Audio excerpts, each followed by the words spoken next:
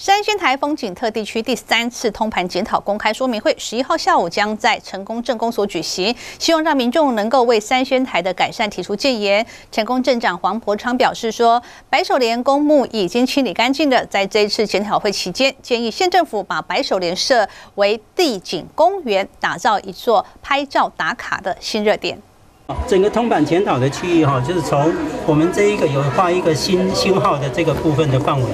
从一月三号起到二月一号，台东县政府将针对三仙台风景区进行第三次的通盘检讨会。在这段期间，只要对三仙台的发展有任何的建议，都可以向县府表达。在镇公所内也会放置相关的文件，让前来的民众阅览。而成功镇公所也打算在这波的检讨会议当中，将取决整理好的白手莲公墓，建议设立地景公园。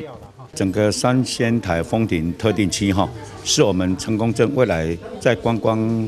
推动最。主要的一个重点，哈啊，期望说在我们三千台风景特定区里面的一般保护区跟自然保护区，哈，包括我们在三千台那一块公墓的用地，哈，现在已经整个起节搬迁完成，期望说在未来那一块一般保护区的用地能够变为游乐区或者是公园绿地，哈，这样对未来成功镇在观光的推动能够有更大的一个空间。旧有的白手莲公墓整理好之后，真公所希望能够在充分的讨论之下，将这块区域变成游客们拍照打卡的新热点。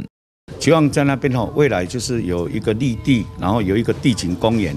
让我们的观光客、我们的游客能够驻足在那里哈，观赏我们整个海岸线、我们台太平洋的一个美景，然后成为一个打卡最最主要的一个景点。而一月十一号下午两点半开始，成功镇公所的二楼礼堂将办理三千台风景特定区的第三次通盘检讨公开说明会，以及与民众们共同进行的座谈会，想让大家谈谈改善的构想，踊跃的提出建议。记者谢伦，成功镇报道。